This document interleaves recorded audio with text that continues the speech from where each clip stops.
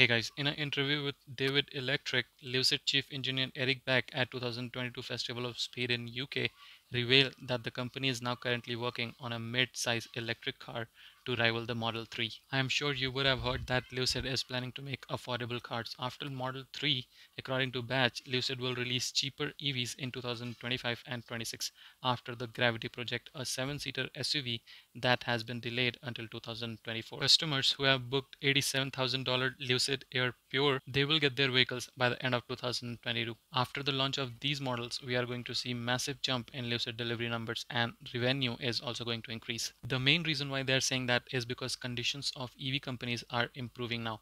Part shortage issue is also solving. This is why EV stocks are rising. Recent Rivian Upbeat commentary on Q2 2022 production has also helped these EV stocks to grow because the numbers were really awesome. Most EV startups are still trying to get point where production pay the bills. Investors should handle EV startup with care at this stage. In China, Tesla EV sales reaches new record in June 2022. The Model Y was the top selling model with over 52,000 units. Other Chinese EV companies like NIO and XPeng, they also delivered good numbers. I believe same thing is going to happen with the Lucid also. We are going to witness massive growth in Lucid very soon. With all that said, thank you so much for being here. See you in next update.